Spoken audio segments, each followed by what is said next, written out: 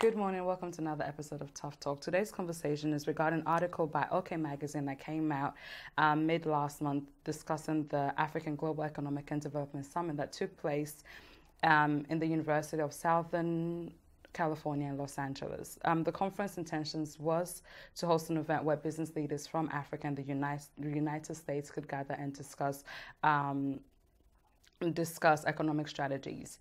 This year's turnout was remarkably remarkably noticeable because there was no African people in attendance. Um, in previous years, around 40% of the delegates were denied visas, and this year, no visas were granted um, in the days leading to the summit. So my question here today is why would an event be hosted and discuss to discuss African strategies without any Africans in attendance? I think to begin with, we need to establish that this was mostly a business summit. Mm and for that, the um, the Americans were mostly looking at their own self-interest, and they don't need the Africans to decide their own self-interest, just as we don't need them to decide what our self-interest is.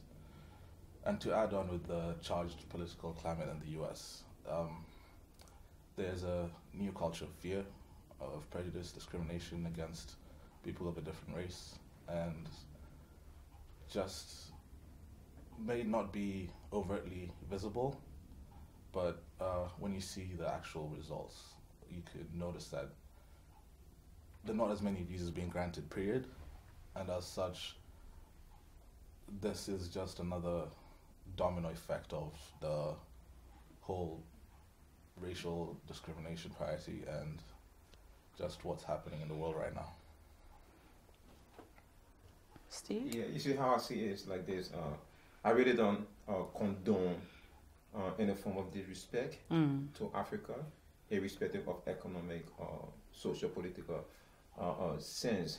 But then we have to consider that um, most of Africa's agenda being set outside of Africa, mm. which is a potential problem. So, um, investors who like now the economic agenda of Africa is set outside of Africa. Yeah. Africa economy is, is not being managed by Africans technically.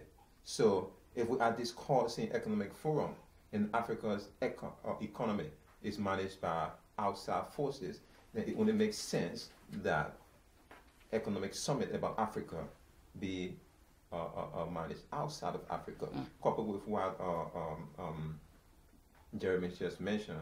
Uh, America, Donald Trump was clear about his migration policy. Yeah. So, and I think that came into factor. Historically, like you said, about 40% of delegates have attended the event. So there has been a huge denial rate. Mm. So if you were to factor that into Donald Trump's uh, um, immigration policy, then it makes sense that Africans were denied visa to attend this program mm. or uh, event regarding a conference that is discussing Africa's economy, why wasn't it hosted within the continent itself? Because in previous years, there was a denial of 40% visas where people weren't able to go, and this year there was denied of visas altogether. So um, going on in the future, shouldn't the um, creators of this event possibly host the events within an African country where they know an African a large amount of African representation will be around? Um, first of all, um, the ideal situation would be that you would have the economic summit hosted in a different country every year mm. that each are part of the summit. Yeah. That's the ideal situation. That being said, the one thing all these African countries have in common is they want to do business with America, which means that we'll have to make some uh, compromises. Mm. So the compromise I think would be best would be hosting it in one African country one year and moving it to the yes the next and then a different African country one year. That's the ideal situation. But where we are at now is um, as Africans, we are the mindset that where we are the weaker party. We're negotiating from a point of weakness, mm. and therefore we have to defer to the more powerful country. But that in itself is not what we're supposed to do. Yeah, we are supposed to band together and create a good economic climate in Africa within mm. ourselves, and then negotiate outward from there. Yeah. So that's what I think is a problem. So we should stop um, depending on outside forces to strengthen our economy. When within our own continents and within our own countries, we're able to do these things if we work collaboratively, work together. Yeah. Yeah. Because I think that once we start seeing lines on a page Mm. as barriers, Yeah. and we start dividing our country on lines that we didn't create, we start to see each other as competition for the favor of the United States of America. And that's not what we are. Yeah. Or it's what we shouldn't be.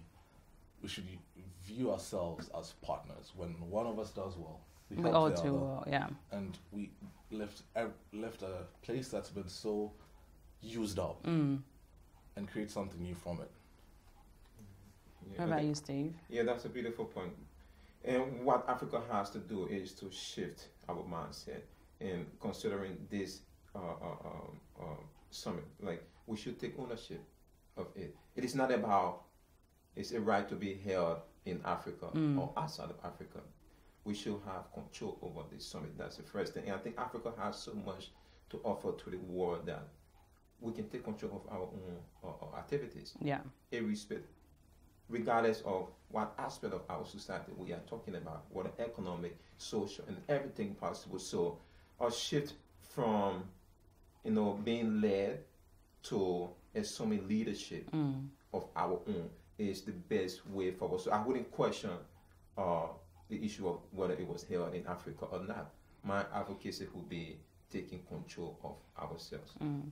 Um, I think my biggest problem with this whole conference was the fact that we are being misrepresent, re- misrepresented once again. Because we look at history, it's, this has been going on um, from um, the day of colonization, where the continent got divided into parts and everybody within the West chose where they wanted to rule.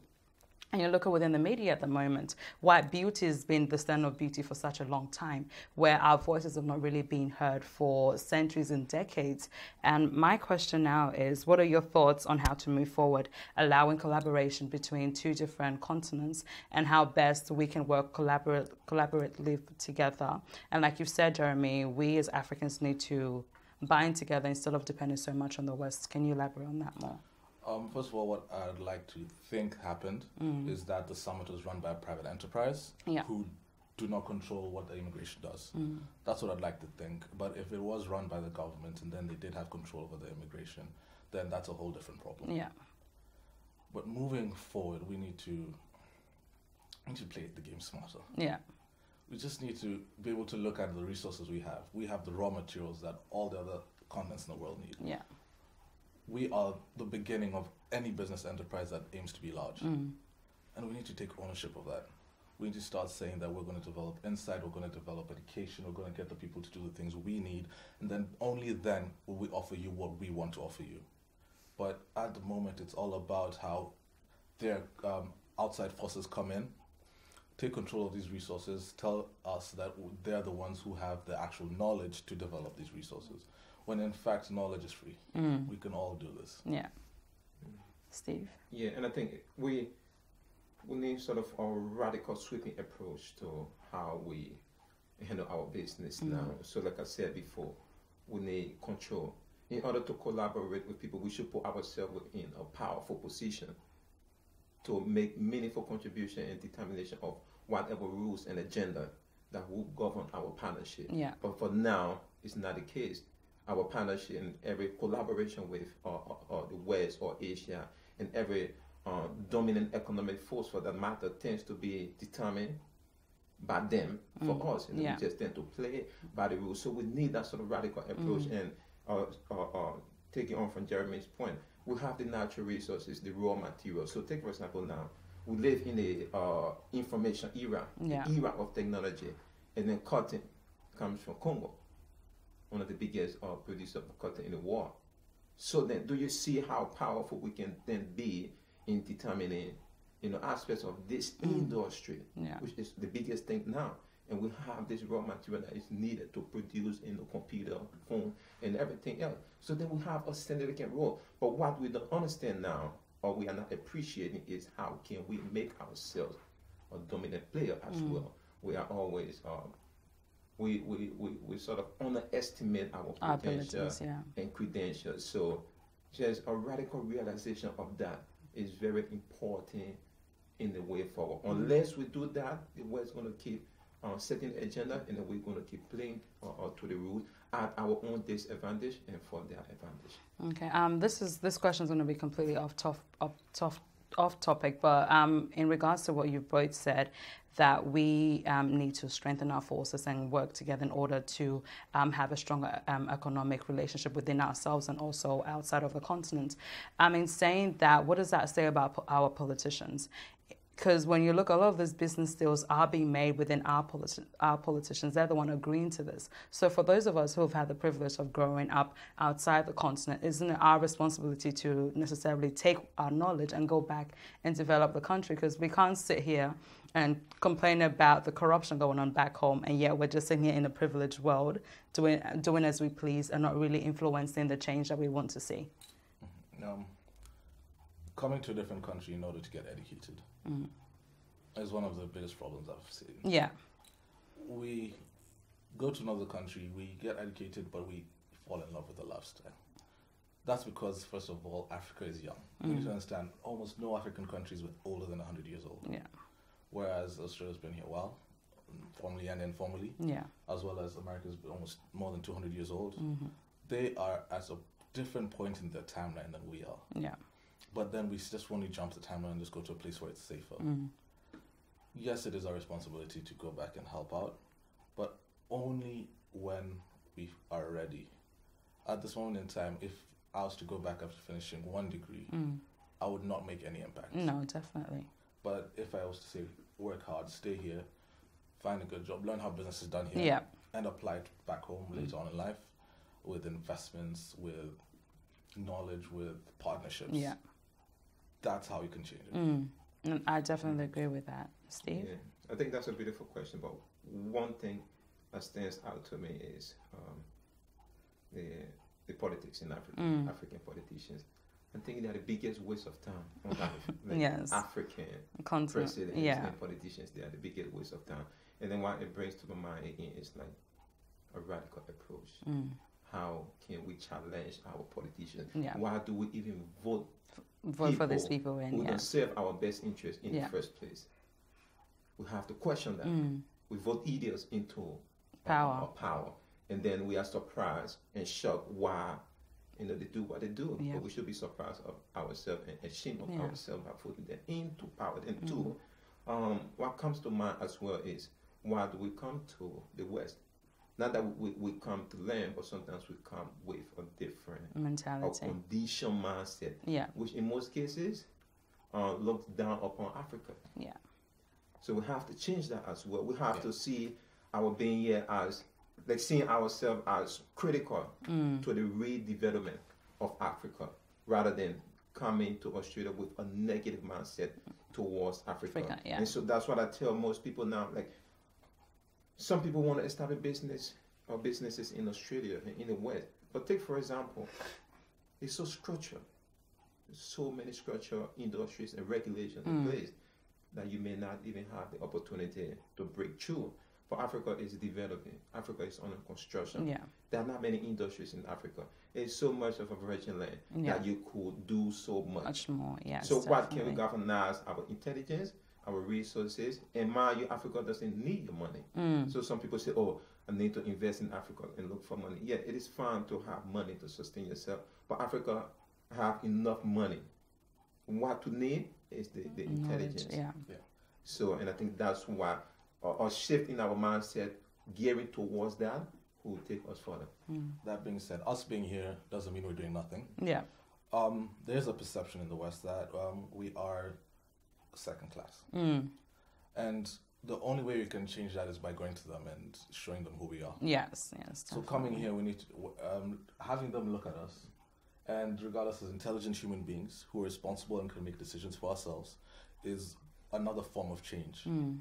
We need to change our own mindsets. We need to change their mindsets, and we need to work together to be all as equal. Yeah. Uh, Can I disagree? A disagree? little bit? Yeah, can I disagree a little bit? It is not about how the West perceive you. You see, that's the thing. It is not about their perception of you. It's about what you can do. So, are you concerned about proving to people what you can, what you are capable of, or are you concerned about proving to yourself or doing what you are capable of? So, if we come to the West to showcase our talent to the West, and then go back to Africa to execute that, sometimes like okay, in practical sense, it hasn't happened. It hasn't translated. Mm. We come to the West and we get stuck up here, and we even accept being a second-class citizen. Yeah. We appreciate that even more. Yeah. So it, within the process of showcasing our talent, this is something Mm. we appreciate and we don't get to actually achieve Yeah. what we have come to showcase or take it back to Africa. So that it gets complicated. Mm. Yeah. In reality, it doesn't work. And I will go for, if we are capable of uh, um, taking, developing Africa, let's go ahead and do it. Yeah. We don't need to prove that to anyone else. Yes. The responsibility is um, is all to ourselves, Yeah. not anyone else. Yeah, definitely. My problem with that is um, we start looking at um, the West as the enemy, Mm. and they're different, but that doesn't mean they are adversaries. That doesn't mean that we should fight against them. Mm.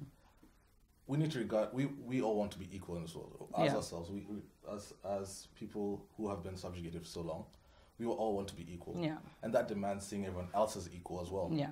So once we see them as equal and stop seeing race as well, Mm. um, not st- stop seeing race in that we don't acknowledge that we're all different. We're all different. Yeah. But we just need to start thinking as equals. What are we going to do to better this world? We need to start thinking at the big picture. It's not just about Africa. It's about globalizing everything. Mm. So we start seeing ourselves as humans and everyone has help, helping each other. I know it's idealistic. It's probably not going to work, but Mm. I think we should try. I should was just try. about to tell you It's probably not going to work, but I do think we should try. Yeah. Steve, I see you shaking your head. Yeah, okay, well, how I see it is like, uh, we wouldn't call the West our enemies, right? But we wouldn't call them our friends about- either. Okay, so we cannot call them our friends. Yeah. So what we should call them is better Business is better partners. described based on history. Yeah. So whichever you form your opinion based on the history. So if they have served you well, then they are your friends. If they haven't served you well, it is up to you to decide. Yeah. So I wouldn't go like I wouldn't like you know I'm not sure what they are to us, but we have to be careful. And issues like globalization, we have to sort out our house first. Yes. Like, are we a major player within globalization? Look at China now. China is a big player. Yeah. Yeah. Controls globalization. Mm. So what about Africa? What are we? So if we are going to, if we want to participate in this conversation, we should be prepared. And I think there were uh, unapologetic focus on Africa, something that is radical, fundamental, is required now because it puts us, puts us in the position to compete. Mm. But at this stage, we cannot compete. So then why must we focus on globalization that will only exploit us for the benefit of the big players? Let us focus on empowering ourselves to compete.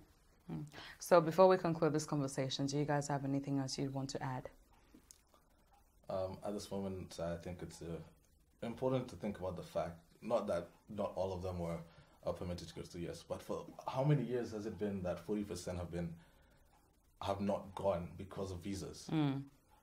It's not a new problem. It may be bigger now, but Yeah. we need to we need to realize that this has been happening for a long time, and we've been unaware. Mm.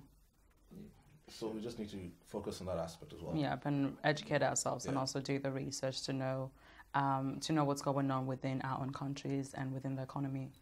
Yeah, Steve? definitely. No, I agree with Jeremy. I think this is not like a new phenomenon. Mm. This is something that has happened over and over. And then I was I was shocked because some Africans were shocked, you know, about Yeah. this whole thing. It is not new to us. Yes. The West has set the agenda for so long, disrespected Africa for so long. But again, we need to have a different approach. Yeah. Let us now start to look at the cause of the problem rather than the symptoms. Mm. So this even um, Africans being denied visa for a, a, a summit is more like a symptom. Yeah. The cause is bigger than that. We Yeah. should take initiative and address uh, uh, our lack of initiative. So yeah, so f- we should shift our mindset now. It is time for us to shift our mindset. Thank you so much for joining our conversation once again. Um, thank you to our special guest, Jeremy, for um, being here with us.